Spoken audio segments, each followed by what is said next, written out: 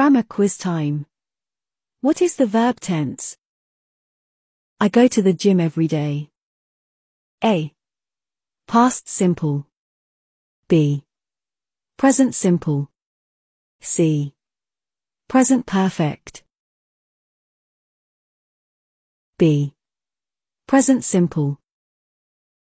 She bought a new car. A. Present continuous. B. Future perfect. C. Past simple. C. Past simple. He will study tomorrow.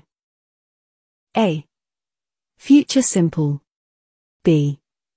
Present perfect. C. First conditional. A. Future simple. They're going to the store. A. Present simple. B. Past perfect. C. Present continuous. C. Present continuous. They were playing tennis. A. Present continuous. B. Past continuous. C. Future continuous. B. Past continuous. Like, share and follow me for more English practice. Thank you.